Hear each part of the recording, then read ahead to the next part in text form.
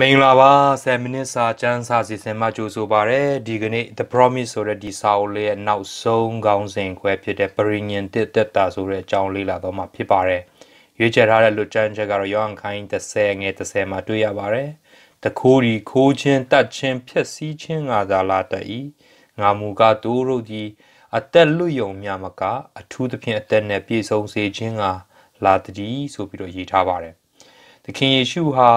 ပရိညင်တစ်ကိုသူ့ရဲ့သွေးနဲ့ဖွဲ့စည်းလိုက်ပါတယ်ဒီပရိညင်မှာစာတွေ့တာမဟုတ်ပဲအတွေ့အခေါ်ဩဝါဒတာမဟုတ်ပဲနဲ့သင်ခန်းစာတာမဟုတ်ပဲအမှန်တကယ်ဖြစ်တဲ့အရာဖြစ်ပါတယ်ဘုရားသခင်နဲ့ပြုတဲ့ဒီပရိညင်ဟာကျွန်တော်တို့ရဲ့အသက်တာများကိုပြောင်းလဲပေးပြီးအသစ်ဖြစ်စေတာဖြစ်ပါတယ်ပရိညင်တစ်ကကျွန်တော်တို့ရဲ့အသက်တာများစီကိုဘယ်အရာကိုယူဆောင်ပေးတယ်လဲဆိုတဲ့အခါမှာ အချက်၅ချက်တွေ့ရပါတယ်ဝမ်းမြောက်ခြင်းအပြစ်မှလွတ်မြောက်ခြင်းအတစ်သောအသွေးခေါ်များထာဝရအတိတ်မျောလင့်ခြင်းသာသနာပြုခြင်းစတဲ့အရာတွေဖြစ်ပါတယ်ပထမဆုံးအနေနဲ့ဝမ်းမြောက်ခြင်းတိရောတစ်လေးထဲမှာတင်တို့ဤဝမ်းမြောက်စရာအကြောင်းဆုံးလင်းစေခြင်းကလည်းဤအရာများကိုငါတို့ဒီရေးလိုက်ကြ၏ဆိုပြီးရေးထားပါတယ်သခင်ယေရှုကသူ့ရဲ့ဒုတိယကြိမ်ကြွလာခြင်းနောက်ပိုင်းမှာကျွန်တော်တို့၌ ဝမ်းမြောက်ခြင်းအပြည့်အဝရှိမယ်ဆိုပြီးဂတိပေးခဲ့တဲ့အကြောင်းမှတ်သက်25 27မှာရေးထားပါတယ်။ဒါပေမဲ့လည်းပရိညင်တည့်ရဲ့ဝမ်းမြောက်ခြင်းကကျွန်တော်တို့ကိုယနေ့ဝမ်းမြောက်မှုကိုဖြစ်စေသောအရာဖြစ်ပါတယ်။၎င်းဟာယခုဖျားသခင်ရဲ့နိုင်ငံတော်အစိတ်အပိုင်းဖြစ်ပြီးယောမခန်းကြီး14အငယ်7ခွန်အရာ တန်ရှင်းသောဝိညာဉ်တော်၏အတီးအစိတ်အပိုင်းလည်းဖြစ်တဲ့အကြောင်းဂလာတိ9:22မှာတွေ့ရပါတယ်။ဒီဝမ်းမြောက်ခြင်းကသူတောင်းသောပျော်ရွှင်ခြင်းမျိုးမဟုတ်ပဲစိတ်တွင်းမှာဖြစ်ပေါ်လာတဲ့ငြိမ်သက်ခြင်းမျိုးဖြစ်ပါတယ်။ဧဝံဂေလိတရားကိုမျှဝေတဲ့လူအယောက်80တို့ဟာဝမ်းမြောက်သောစိတ်နဲ့ပြေဝခဲ့တဲ့အကြောင်းလူကာ10ခွန်မှာတွေ့ရပါတယ်။ဧဝံဂေလိတရားကိုလက်ခံတဲ့ဘယ်သူမဆို ဝမ်းမြောက်ခြင်းနဲ့ပြေဝရမယ်အကြောင်း1:6မှာလည်းရေးထားပါတယ်။ယေရှုကိုယုံကြည်ခြင်းကပဲအဲ့ဒီဝမ်းမြောက်ခြင်းကိုရယူဖို့လုံလောက်နေပေတဲ့အကြောင်း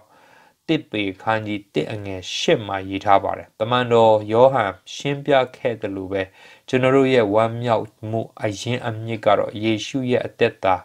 တေခြင်းနဲ့ရှင်ပြန်ထမြောက်ခြင်းအကြောင်းတွေးတောဆင်ခြင်းပြီးဘုရားသခင်နဲ့ကျွန်တော်တို့မိတ္တဟာယဖွဲ့ဖို့အတွက် ဖြစ်တဲ့အကြောင်းတိရောတစ်၃လေးတွေမှာတွေ့ရပါတယ်။အပြစ်မှလွတ်မြောက်ခြင်းယောမအခန်းကြီး၈အငယ်၁မှာဖျားသခင်ကယ်လွတ်တော်မူသောကြောင့်ယေရှုခရစ်၌တည်၍ဇာတိပဂတိအတိုင်းမကျင့်ဝိညာဉ်ပဂတိအတိုင်းကျင့်သောသူတို့သည်အပြစ်စီရင်ခြင်းနဲ့လွတ်ကြ၏လို့ရေးထားပါတယ်။လူတိုင်းအပြစ်ရှိတာကိုဘယ်သူမှငင်းဆိုနိုင်မှာမဟုတ်တဲ့အကြောင်းယောမ3:23တိယော1:8တွေမှာတွေ့ရပါတယ် ဒါပေမဲ့လည်းပရိညင်တစ်မှာသခင်ယေရှုကသူ့ရဲ့သွေးတော်ကနေတဆင့်ကျွန်တော်တို့ရဲ့အပြစ်တွေကိုခွင့်လွှတ်ပေးတဲ့အကြောင်းတစ်ရောတစ်ခွန်မှာတွေ့ရပါတယ်အဲ့ဒါကြောင့်အပြစ်ရဲ့ဝန်ထုံးမှာကျွန်တော်တို့လွတ်မြောက်တယ်ဖရာသခင်ဟာကျွန်တော်တို့ကိုအပြစ်နဲ့နောင်တကြီးစွာရခြင်းမှလွတ်မြောက်စေတယ်ဖရာသခင်ကကျွန်တော်တို့ရဲ့အပြစ်များကို မေ့လျော့ပေးတယ်ဆိုရင်ကျွန်တော်တို့လည်းအဲ့ဒီလိုပဲမေ့လျော့ပြဖို့မကောင်းပေဘူးလားယေရမိ31 34 အဲ့ဒီလိုပြောတဲ့အခါမှာကျွန်တော်တို့အပြစ်တွေကိုကျွန်တော်တို့ငင်းပယ်ပြီးတော့ကျွန်တော်ဟာအပြစ်သားမဟုတ်ဘူးလို့ဒီအရာကပြောနေခြင်းမဟုတ်ပါဘူးသခင်ယေရှုဟာကျွန်တော်တို့ရဲ့ပြစ်များအတွက်ပေးဆက်ခဲ့တဲ့အတွက်ကြောင့်အဲ့ဒီအရာများရဲ့ရှုံချမှုအောက်မှာကျွန်တော်တို့ဘယ်တော့အခါမှာဆက်ပြီးမနေရတော့ဘဲနဲ့မနေတော့တဲ့အခြေအနေအဲ့ဒီဟာကိုပြောနေတာဖြစ်ပါတယ်ဗျာဒီအခန်းကြီးတင်ငယ်ငါအတစ်သောအတွေးခေါ်များ တိယောခန်းကြီး၄အငယ်16မှာဘုရားသခင်ဒီငါတို့ကိုချစ်တော်မူခြင်းမေတ္တာတော်ကိုငါတို့ဒီတည်၍ယုံကြည်ကြ၏ဘုရားသခင်ဒီချစ်ခြင်းမေတ္တာဖြစ်တော်မူ၏ချစ်ခြင်းမေတ္တာ၌တည်တော်သူသည်ဘုရားသခင်၌တည်၏ဘုရားသခင်ဒီလည်းထိုသူ၌တည်တော်မူ၏လို့ရေးထားပါတယ်ဘုရားသခင်ရဲ့ချစ်ခြင်းမေတ္တာကိုတည်ပြီးယုံကြည်တဲ့အခါမှာကျွန်တော်တို့ရဲ့အတွေးအခေါ်များနဲ့ခံစားချက်များဟာပြောင်းလဲသွားပါတယ် ကျွန်တော်တို့ကိုနှလုံးသားအသစ်ကိုပေးပြီးအသစ်သောအသွေးခေါ်မှုများနဲ့ခံစားမှုကိုပေးတဲ့အကြောင်းယေဇကျေလ36 26ယေရမိ31 33တွေမှာတွေ့ရပါတယ်။ဘုရားသခင်ရဲ့ပြည့်ညတ်တော်ကိုကျွန်တော်တို့နှလုံးသားထဲမှာရေးသားထားပြီးတော့ကျွန်တော်တို့ရဲ့အတွေးခေါ်နဲ့ခံစားချက်များကဘုရားသခင်နဲ့ကိုနဲ့ဆက်ဆိုင်သောသူတွေအတွက်ပြေဝနေဖို့ဖြစ်တဲ့အကြောင်းမာကု7နဲ့30 31တွေမှာတွေ့ရပါတယ် ခရစ်တော်ကကျွန်တော်တို့ရဲ့နှလုံးသားထဲမှာကျင်းဝတ်တဲ့အခါမှာကျွန်တော်တို့ရဲ့ယုံကြည်ခြင်းနဲ့ဘုရားသခင်ရဲ့ချစ်ခြင်းမေတ္တာကိုနားလည်ခြင်းကတိုးပွားလာတဲ့ကျွန်တော်တို့ဟာဘုရားသခင်ရဲ့ပြေဝခြင်းနဲ့ပြည့်နေသောကြောင့်ခရစ်တော်အားအယောင်ပြန်ဟပ်ရန်အစဉ်သင့်ဖြစ်တဲ့အကြောင်းအေဖက်ခိုင်း3ငယ်ဆက်ခွန်ကနေဆက်ကိုနှစ်ကော38တွေမှာတွေ့ရပါတယ်။ထာဝရအသက်ဤမျောလင့်ခြင်း ယောဟန်ခန်းကြီး7ငယ်25 26မှာယေရှုကလည်းငါသည်ထမြောက်ခြင်းအကြောင်းအသက်ရှင်ခြင်းအကြောင်းဖြစ်၏ငါကိုယုံကြည်သောသူသည်တည်လွန်တော်လဲရှင်လိမ့်မည်ငါကိုယုံကြည်၍အသက်ရှင်သောသူရှိသမျှတို့သည်တည်ခြင်းနဲ့အစဉ်မပြတ်ကင်းလွတ်လိမ့်မည်လို့ရေးထားပါတယ်တည်ခြင်းတရားနှမျိုးရှိပါတယ်ပထမတည်ခြင်းကိုလူတိုင်းခံစားရမှာဖြစ်တဲ့အကြောင်းကပ္ပဦးကျမ်း39မှာရေးထားပါတယ်ဒုတိယတည်ခြင်းကတော့ထာဝရတည်ခြင်းဖြစ်ပါတယ်ဒုတိယတည်ခြင်းဟာရှင်ပြန်ထမြောက်ခြင်း မရှိဘဲနဲ့မပါတော့တဲ့အကြောင်း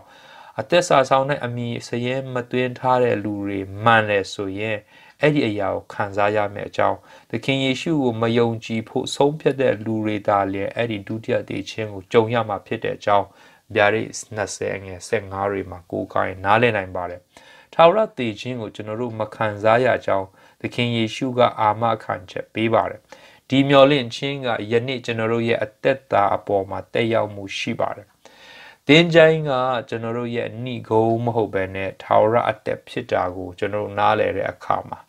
ကျွန်တော်တို့ရဲ့အမြင်ကကွဲပြားခြားနာသွားပါတယ်။တန်ရှင်းသောဝိညာဉ်တော်ကနေသဆင့်သခင်ယေရှုစီကိုကျွန်တော်တို့ရဲ့နှလုံးသားများကိုဖွင့်ပေးတဲ့အခါမှာထာဝရအသက်ကိုစတင်မွေ့လျော်လာတဲ့အကြောင်းနားလည်ရပါတယ်။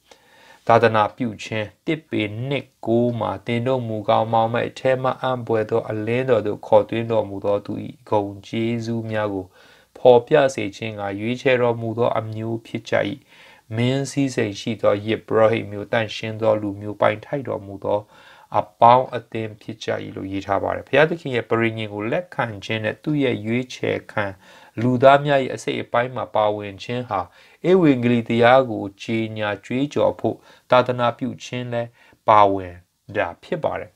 ဝမ်းမြောက်ခြင်းအပြစ်ကနေလွတ်မြောက်ခြင်းအတ္တသောအတွေးခေါ်များထာဝရအသက်တာရဲ့မျော်လင့်ခြင်းစတဲ့ဤအရာတွေကိုများကို ကျွန်တော်တို့အတွက်သာတူမီထားခြင်းမဟုတ်ပဲအခြားသူများနဲ့မျှဝေဖို့လိုအပ်ပါတယ်ဒီသာသနာဟာထာဝရပဲ့တင်ထခြင်းနဲ့အတူဖြစ်ပါတယ် တည်င်းစကားကြားရသူများရဲ့ဥတီယာကံကြမ္မာကို ပြောင်းလဲပေးနိုင်တဲ့အရာဖြစ်ပါတယ်ဒီတည်င်းစကားဟာအသက်ရှင်ခြင်းဤအမွေးအကြိုင်ဖြစ်တယ်လို့လဲနှစ်ကောနှစ်16မှာရေးထားပါတယ်ဖိလိပ္ပိ1:18ထဲမှာခရစ်တော်ဟောပြောခဲ့သည်ကထိုအကြောင်းကြောင့်ငါသည်ဝမ်းမြောက်၏နောင်၌လဲဝမ်းမြောက်လိမ့်မည်လို့ရေးထားပါတယ်နောက်ဆုံးတစ်ခုအနေနဲ့ Ellen G. White ရေးထားတဲ့ Testimonies for the Church volume 5စာမျက်နှာ353ကကောက်နှုတ်ချက်လေးတစ်ခုဖတ်ပြခြင်းပါတယ်လာကြညီကိုမောင်နှမပေါင်းတို့သင်တို့ရှိဒီတိုင်းလာကြပါ အပြစ်နဲ့အားနည်းချက်များပြေဝနေပါစေသင်တို့၏ဝန်ထုတ်ကိုယေရှုရှင်ထံသို့အနှံပါ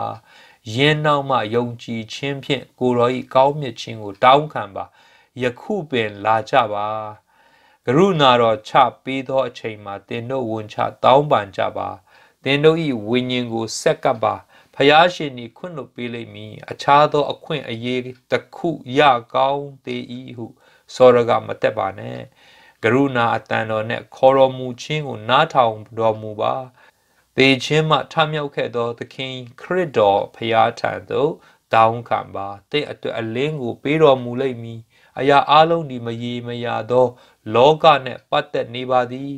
အဆုံးတက်ရန်လဲ နမိတ်ပေါ်နေပါပြီထို့ကြောင့်သင်ဤမာနစိတ်နှင့်မယုံမကြည်ရှိမှုများကိုဘေးဖယ်ပါထိုအရာများသည်ဂယုနာတော်ကိုညှင်းပယ်စေသောအရာများဖြစ်ကြသည်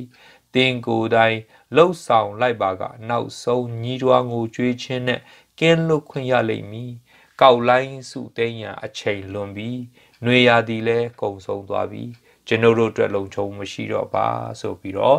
ခရစ်တော်ကို အခုပဲလက်ခံဖို့ ကျွန်တော်တို့ကိုအားပေးတိုက်တွန်းထားတာဖြစ်ပါတယ်ကျွန်တော်တို့သင်ခန်းစာတွေအားလုံးကိုပြန်လည်စုစီလိုက်တဲ့အခါမှာကျွန်တော်တို့ကိုဖရာသခင်ကပရိညင်တွေပြုတ်ပါတယ်ပရိညင်ရဲ့အသက်တာမှာဆိုရင်ကျွန်တော်တို့ဟာ ခရစ်တော်ပေးထားတဲ့ဝမ်းမြောက်ခြင်းကိုရရှိဖို့အပြစ်ကနေလွတ်မြောက်ဖို့အသစ်သောအတွေးခေါ်တွေနဲ့အသက်ရှင်ပြီးတော့ထာဝရအသက်ကိုမျှော်လင့်ခြင်းနဲ့ကျွန်တော်တို့ပဲကယ်တင်ခြင်းရဖို့မဟုတ်ပဲသူတစ်ပါးကိုလည်းကယ်တင်ခြင်းဝေငှဖို့ဒီပရိညင်တဲ့ရဲ့အသက်တာကမိမောင်းထိုးပြတယ်ဆိုတာဒီကနေ့သင်ခန်းစာနဲ့ကျွန်တော်တို့တကွာတာလုံးမှာသင်ခဲ့တဲ့ပရိညင်အကြောင်းကတော့ကျွန်တော်တို့ကိုဒီအရာတွေမိမောင်းထိုးပြထားပါတယ်။ဂျာနာသူအရောက်စီတိုင်းဘု ရားသခင်တာ၍ကောင်းကြီးပေးပါစေ။အာမင်။